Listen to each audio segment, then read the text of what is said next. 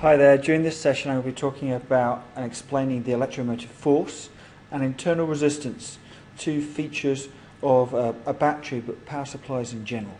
Okay? So, first of all, electromotive force or EMF. The EMF is another feature measured in volts, okay, another voltage, so to speak. The electromotive force EMF describes how much energy is being transferred from the battery to the circuit per unit charge. So therefore, again, measured in, in volts. It's how much energy is being provided. Um, thinking about it, um, how much energy is, oh, I guess, um, to accelerate those electrons from the positive to the negative terminals. How much energy is going in. Next step, okay, another voltage. And this is the terminal potential difference. So what happens with the terminal potential difference is that if I put a voltmeter across either terminal, then it will tell me how big or how much um, voltage is between those two points. Now it's not constant. It all depends on how much current is being drawn. Okay, so there's a feature here that it depends on how much current. So the larger the current drawn, the lower the terminal potential difference. So the larger the current drawn, the lower the terminal potential difference. So just think about that for a minute. So I've got two things here. Um, you may be thinking, surely they're the same thing. What we're talking about here is the amount of energy going into the circuit and then the amount of energy being measured um, going into the circuit on either side of the battery. Good point there. But actually, they are different. Now, the reason that the EMF and terminal potential difference are different is because there's this thing called the internal resistance of a power supply.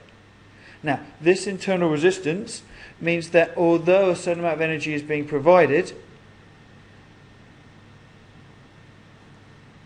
the internal resistance causes some of that energy to be wasted inside the power supply itself. This is actually why batteries end up getting hotter and hotter and hotter that heating up is an example of that energy being wasted. So not all the electromotive uh, force, not all that voltage is converted into the terminal PD.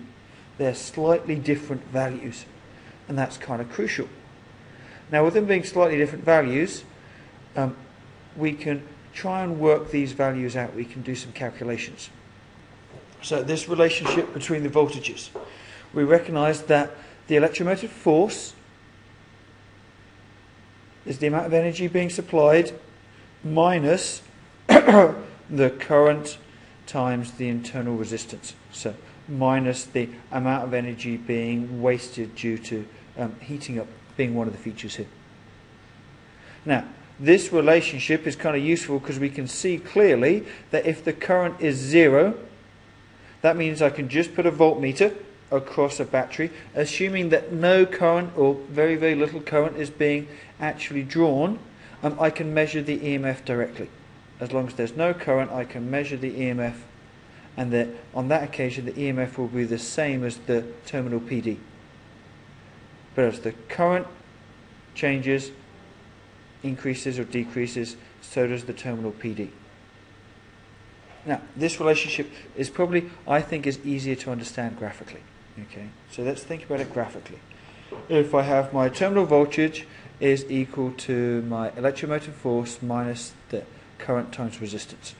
Now I'm just going to rearrange this slightly so it looks more like the y equals mx plus c uh, formula which you should recognize.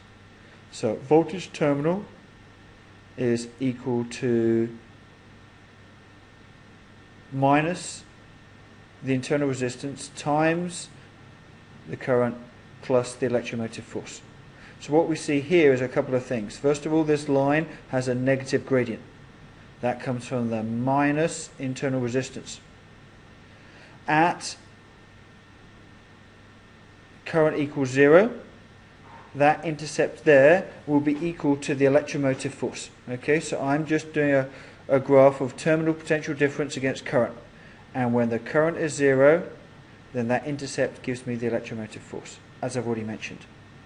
So that's the relationship between some more types of voltages, terminal PD electromagnetic force.